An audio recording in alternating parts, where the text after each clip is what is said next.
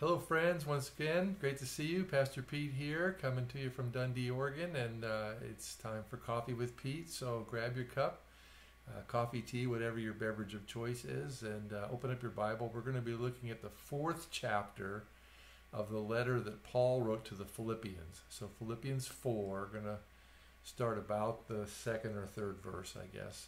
So here's to you, and let's get going.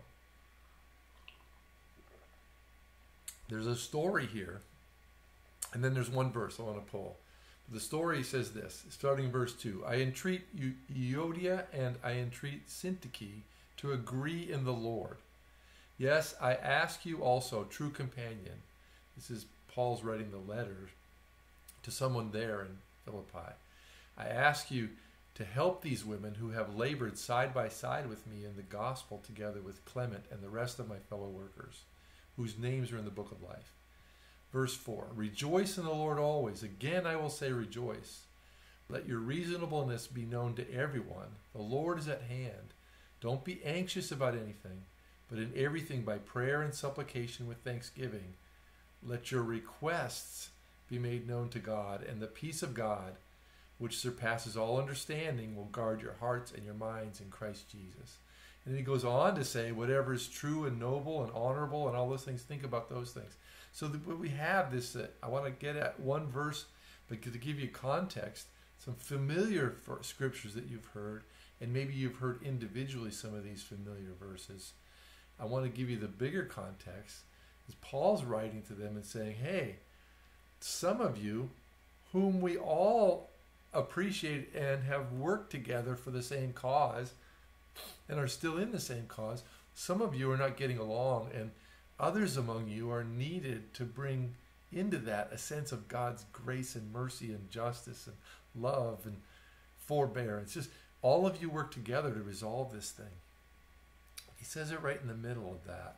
Well, I guess I want to ask you maybe even that. We're in a season of time right now, it comes around every four years, especially, where people that we know and love and care about might disagree with us very strongly and vehemently. And sometimes for reasons we can't understand, and sometimes our reasons they don't understand. We're in a political season.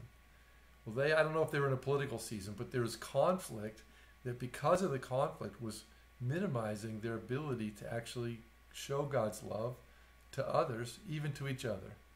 And so Paul was appealing to them, saying, there's ways that you can resolve this, and you should go about it in a way that reflects the glory of God and His love for us. So I want to highlight today verse 4 Rejoice in the Lord always. Again, I will say, rejoice. And I just want to talk about what it means to rejoice always. That he's saying it in this difficult situation, you should still rejoice. And is he saying to us, be happy that you have this trouble? I don't think so. I don't think that's what he's saying it's a phrase that Paul used multiple times through the Bible. Rejoice always. Sometimes when you're you're dip, when there's difficulty, but sometimes also because you overcome difficulty.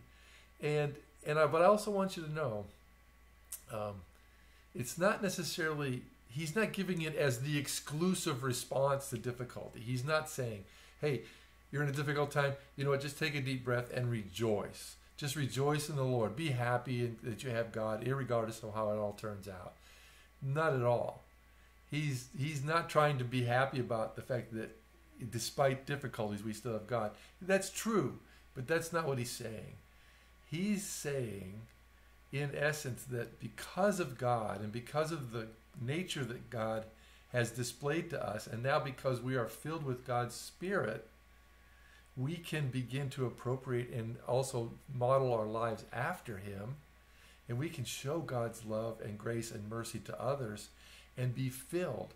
Now, let me give it to you a, a, little a little different angle on this. Like the shortest verse in the Bible often is quoted as Jesus wept. That's John 11:35 when he got the news that uh, someone had died and he needed to go and he just wept because it was a close friend when Lazarus had died.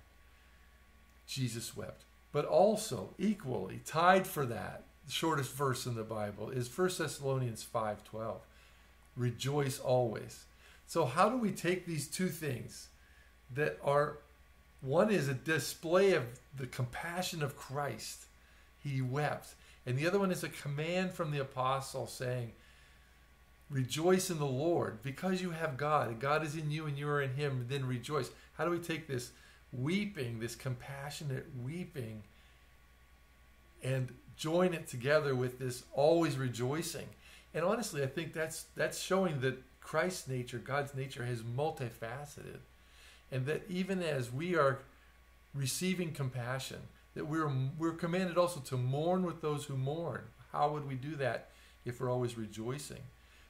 Well, there's a humility that comes. It says, just as Christ, his joy was made complete even as he went to the cross. His his pain and his anguish was also very extreme, but his joy was made complete.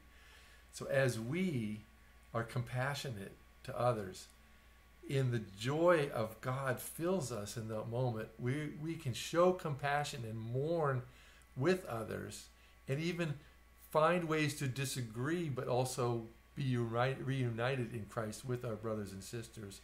We can do that while remaining joyfully confident of the mercy and the grace that God has shown to us. And that's what I think Paul is talking about. So today, friends, whatever disagreements or struggles might come your way, whether it's your own struggles or one of your friends, I pray that you will remain in Christ and you will be joyful in remembering his compassion even as you express that same to others. God bless you, friends, in Jesus' name. Amen.